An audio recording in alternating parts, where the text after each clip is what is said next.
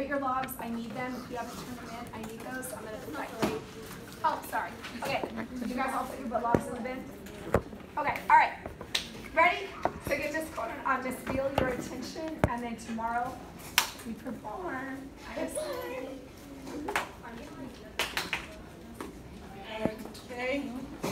Hey, is Miss Coronado, is it recording? Ooh, I'm so sorry. We're gonna, we're gonna. I just can't. If you guys Yeah. didn't know, we're still in school as well, and this is part of our class for me to teach you, so. Yeah, it's good. Okay. Hey, so this first part is going to be a little bit of a review for you guys. Hey, is it, who can tell me about projection? Projection is speaking really loudly so that the people in the very, very back can still hear you. But make, try your hardest not to scream, otherwise that'll hurt the ears of the people close to you. It's really like uh, most of it's controlling your breathing because like if you talk with like really short breaths, you can't really make it loud. So you gotta like take deeper breaths.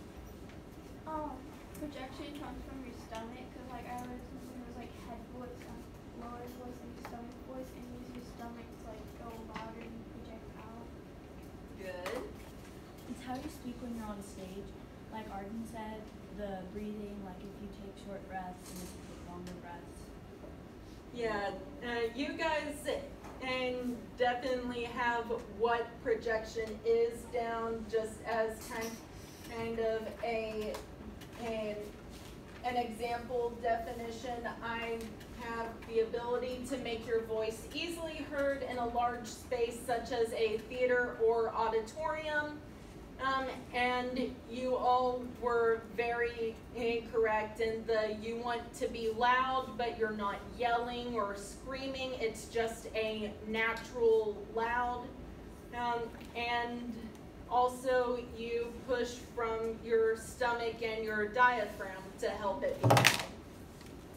Uh, now, um, touched on it with making sure that the people in the back row can hear you. Anyone want to add on about why projecting is important to that? Um, because like if like people in the front can hear you, and the people in the back, if they can't hear you, it'll basically like waste their time. Like, Can't why would like, Yeah. Um, the louder you are, the more confident you seem. Very good. And and it's kind of like a give and take. Both if you're louder, you seem more confident, but also it kind of gives you a sense of confidence as well. Well, and you guys have learned a few you know, vocal warm-ups over the last few you know, months. And anyone have any particular favorites? Hey burrito. The burrito song, yes. That's me. Well, I'm gonna just call like I'm going on a bear Uh, bear hunt.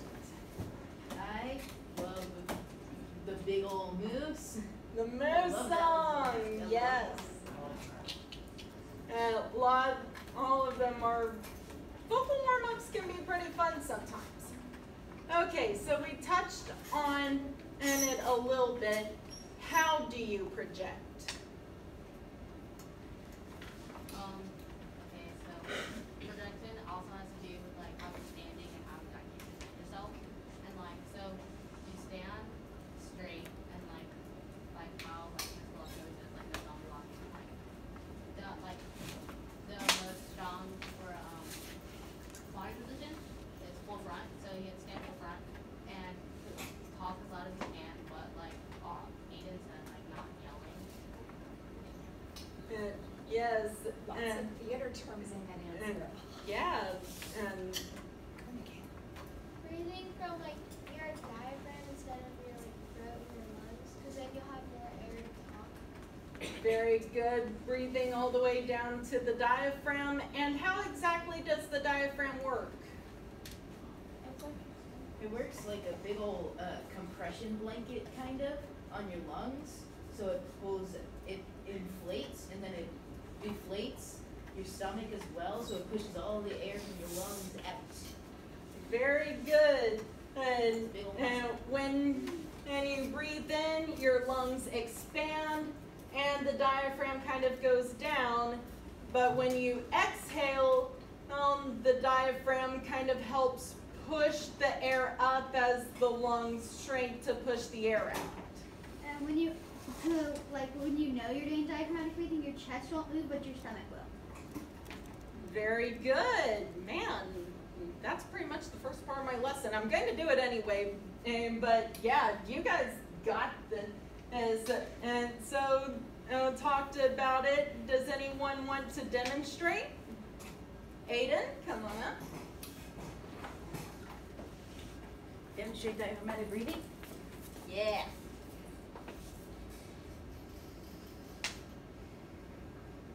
Very good. And and and very good. Lots of things to keep in, in mind, like talked about. Um, give Aiden a round of applause. And And through your mouth too, I was breathing through my nose. yeah, um, and and yeah, uh, you want to let the abdominal area expand because yes, the lungs expand, but the chest shouldn't. And like you shouldn't look any bigger around this area. Uh, can anyone tell me why? Because your stomach doesn't expand into your chest. Yes, and and basically it's because as what's this thing around our lungs that protect them? Ribs. Our ribs. Our ribs don't get any bigger. So uh, yes, the lungs can expand, but they can't expand any larger than the ribs. And so, yeah. I have a question. How can uh, ribs break? Very strong forces. It's rare, but I've actually known of it to happen. And, but no, you won't be able to get so much air into your lungs that your ribs will break. Yeah. It's like in dance, they teach you to breathe lifting up instead of like just out. You have to, you have to like lift up with your body. So like, I don't know. It's just what we were taught. It kind of like makes it to where you have more air and you can do more stuff. That the comparison that is a very good thing to point out. Dancers are often taught to breathe up uh, but that's also because they are moving and there is a lot and more having to do with balance. And for theater we do more of letting it breathe out and singers and musicians will also do it. And I tried to find one of my favorite uh, movie clips. It's of a teacher who is a vocal teacher working with one of his students, very uptight, very fun accent, and he tells her diaphragm in, stomach out, it's okay to look fat. That joke is always just like a give and take. Some classes that's hilarious, some classes. I think that's hilarious. Yes? Um, Laugh.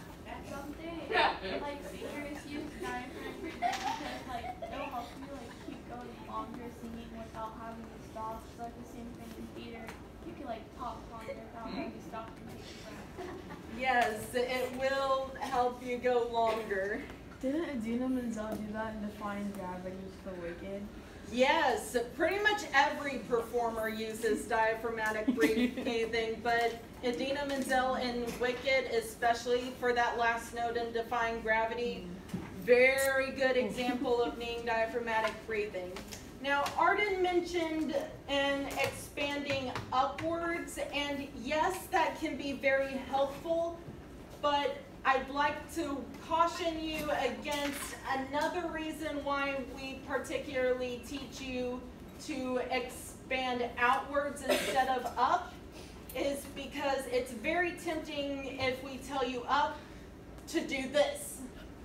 Can someone tell me what's wrong with this? Um, it's bad. One is bad for your posture.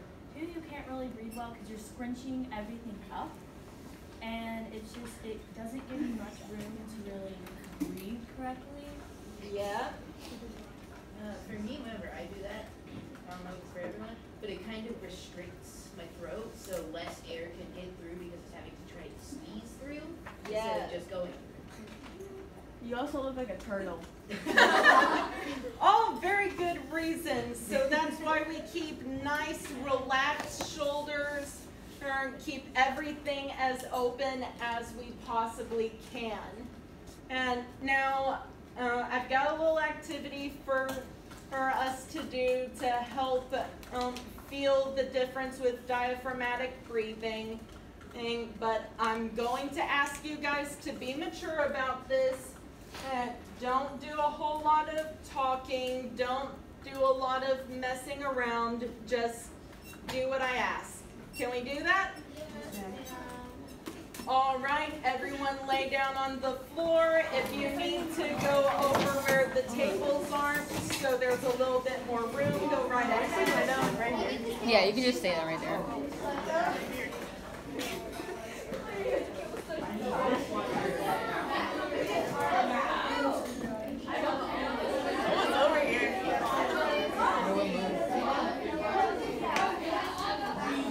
Oh, my back just popped.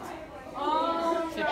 over here. I'm good. Okay. Okay. Settle down. Please be quiet. And lying on your back. And now I want one hand on your back. And now I want one hand on your chest, one hand on your stomach, and not just so you can feel it. You're not restricting movement, you're actually feeling movement. And take a deep breath in and let it out. Now, which hand moved more? This hand that you put on your stomach. I don't know the exact science behind it. I think it has something to do with since gravity's on your shoulders, you can't move them to lift them up. But and when you're lying down, that's actually the best way to get a good breath. We actually do our best breathing while we're asleep. And so just so you can and get used to how it feels, take a for a minute, take a few more breaths, just focus on how it, it feels. Deep breath in and out. One more deep breath in and out. All right, quietly, please stand up. Uh, and yes, that is stand, not, and sit back down in chairs. If you want to stand by your chair, that may be ideal. Don't get up too fast. Oh, yes, don't stand up too fast. If you want to stand by your chair, that is fine, but we are not sitting down, except for you that came in on the crutches. If you need to sit down, I completely understand.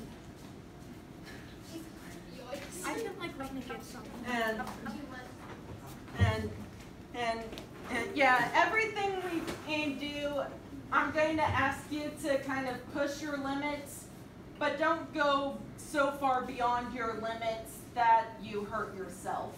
Um, if you start feeling kind of woozy and rein it back in a little bit, I'd rather you be conscious for the whole lesson. And, okay, so like we were on the floor, one hand on your chest, one hand on your stomach, and try to recreate the feeling you felt on the floor. Deep breath in and out. Now, how is that different from how it felt on the floor? My chest is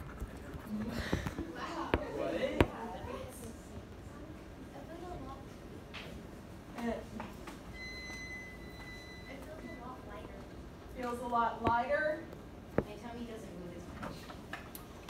Uh, you're right, And stomach it kind of doesn't, goes down when I do doesn't move as much and kind of goes down. it. Does that way instead of that way. Mm-hmm. Some people might felt their chest go up more instead of their stomach go down more.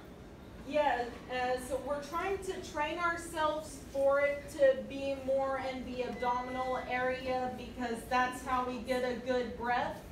but we more naturally just kind of breathe in the chest area because unless we're doing something where we need to um, talk loudly and project, we don't usually do this deep of breathing.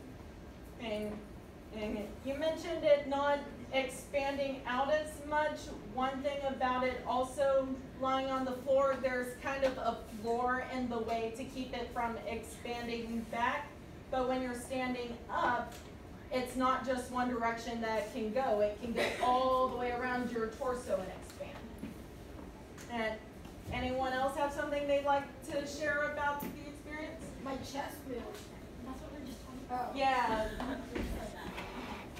Yeah, as it shouldn't move as much because like I said, and your lungs are inside of your rib cage and you can't get much bigger than your rib cage. And, but and yeah, just because it's how our bodies move and almost constantly moving, you can feel a little bit of movement.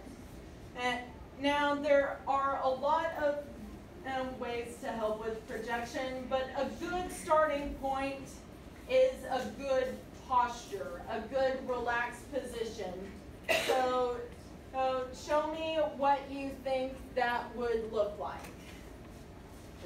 And if you need to not be on your feet, that's fine. I just ask that you sit up. So, um, okay, and good. I'm seeing lots of hands at the sides, and and feet should be pretty much a straight line underneath the shoulder because honestly you you go much skinnier or much farther apart it's kind of hard to balance. And so uh, shoulders right down and into the feet. And I am going to reemphasize that again because I see people trying to be funny and bring their legs out really far. Okay and one of the big things with projection and is we talked about confidence. And one of the big things that we are trying to communicate is confidence.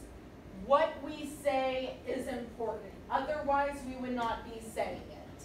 And, and everyone deserves to hear it. Because your words are important. Because you guys are important each one of you guys is a king, queen, or monarch in your own right.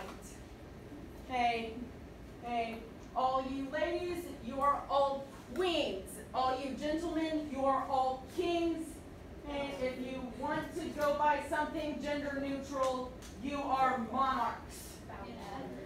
All right. All right. All right. So, so carry yourself with the posture and composure of a ruler of a land. And, and, and stand tall, stand strong, and we are going to say all together in an authoritative projecting voice, I am a whichever one of those three you just uh, you most identify with. And, uh, I'm going to count down for you to all do it uh, together. Er, inhale. One, two, three. I am queen.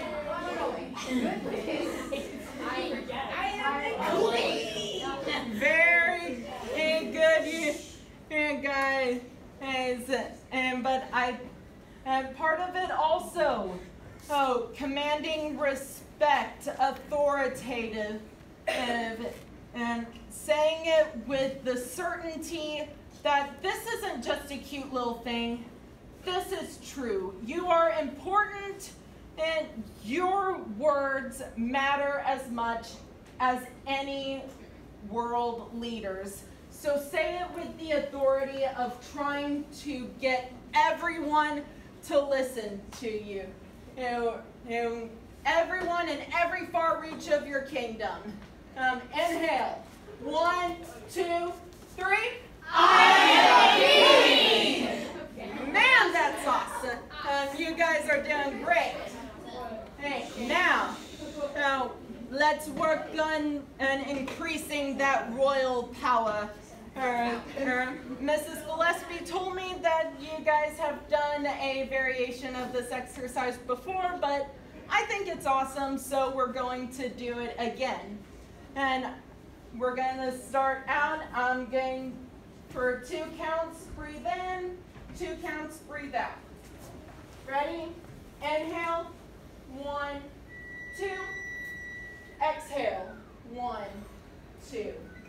Again. Inhale. One, two. Exhale. One, two. Please do not lean on the stage. We are talking royal posture. Uh, okay? And now, now we're going to do the same thing again, but with four counts instead of two. Ready? Inhale. One, two, three, four. Exhale. One, two, three, four. Again. Inhale. One, two, three, four. Exhale. One, two, three, four. You're very good, guys. Now, like I said earlier, er, I want you guys to be here for the whole lesson. And so continuing on, if you start feeling lightheaded and you need to, to sit down, please do, but don't just pretend to be lightheaded so you have an excuse to sit down. You, I understand. and, and, and just, and so we're going, yes? Is it weird that I, when I do this, I feel like I can't breathe? It's like I forget, I forget to breathe. I'm like,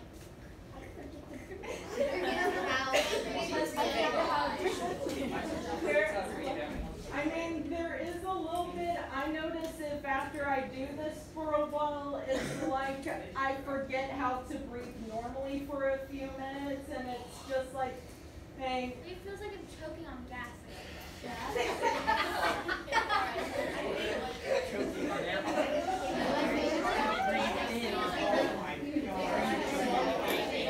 okay, settle down. It feels like that. Um, um, um, just be careful, think of it like breathing through a straw, a little bit at a time.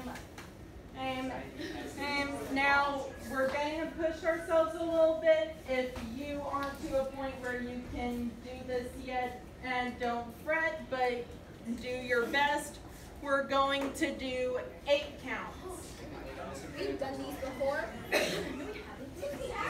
Oh, I said at the beginning of this, Mrs. Gillespey told me that you have done this before, but it is a great exercise. Okay, good, relaxed position. And inhale. One, two, three, four, five, six, seven, eight. Exhale. One, two, three, four, five, six, seven, eight. Now the exhale should be uh, all your breath over the extent of time. And like I said, it's like you're breathing through a straw. If you let and out all the air in the first count, uh, you're not controlling your breathing. We also need to be able to control our breathing so we can use it to project on stage. So let's go eight counts again. Inhale, one, two, three, four, five, six, seven, eight. Exhale, one, two, three, four, five, six, seven, eight. Now, unfortunately, we don't have the chance on stage to breathe in for eight counts before each line. And because that would make it a very long and very slow show. Um, so, uh, we're going to do in for four counts, out for eight. Right. Okay? Hey, hey, you guys got this? Inhale, one,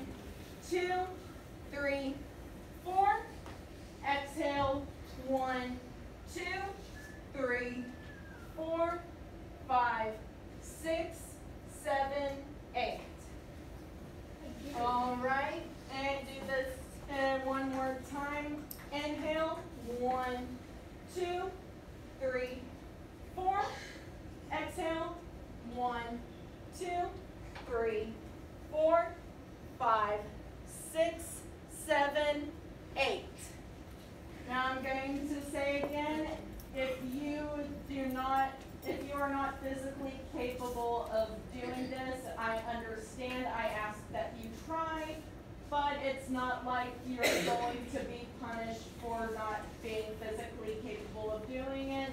We're going to try inhaling for two counts, exhaling for eight. Hey, if you need to, uh, help, I'm noticing a lot of yawning. That's what I just did. See, I was like, I've been yawning all remember me day.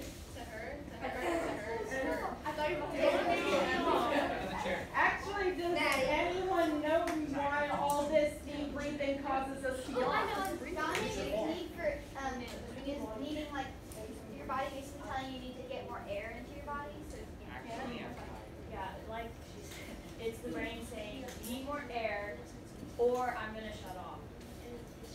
It's like saying you need more air inside your blood. yeah, you're not tired. Yeah. I wouldn't say I'm tired. The reason why I have kids is like, Yeah, they're also like, you know, right? Excuse me, I believe I asked Aiden to speak and no one else at the moment. Um, it's because the muscles are getting tired, so that means they've got to work harder. That's why you have a very wide open mouth whenever you're yawning. Yes. And instead of just this, like, which is why you need to, get in more air because your muscles are getting tired because they're running out of oxygen because you're breathing shallower breaths as you get as you get tired. Yes, and actually, the best way to get a good deep breath is to yawn. And there are a lot of uh, people in here who will yawn as a vocal warm up. Uh, uh, move your tongue to the back of your mouth. Uh, it's okay. That's not what we're working on. It's just something that you guys are doing, so I pointed it out. Okay, Now two count eight.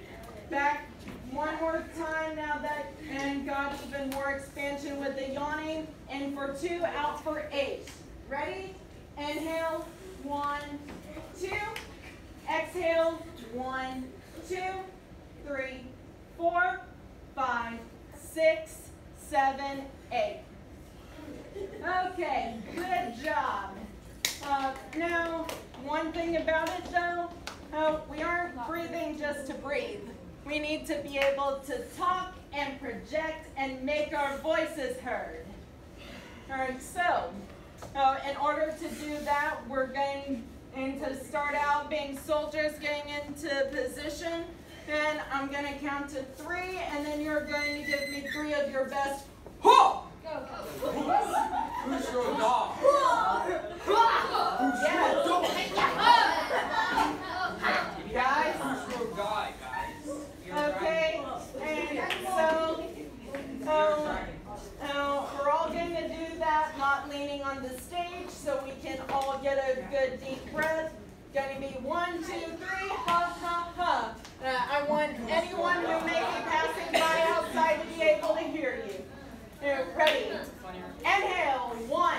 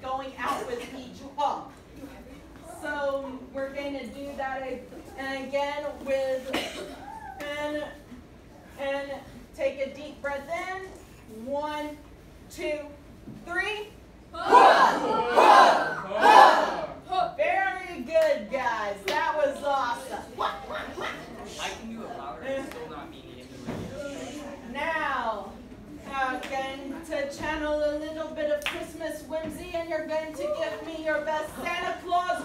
Ho, ho, ho! Doesn't matter, it's vocal exercise. Okay. Hey, good and relaxed position, posture, hand at your side, feet planted firmly on the floor. Inhale, one, two, three. Very good. Okay, guys, let's do one more time. Inhale, one, two, three. Very good, guys. Okay. Now, we have been working on volume and pushing from the stomach. Now let's add some pitch range into it and how high we can go. So we're going to do an activity called Bottle Rocket. Bottle Rocket? And, and now, now we're going to, it's going to be a simple ooh throughout. You're going to start in about the middle of your range, and then you're going to go higher and higher and higher to the middle.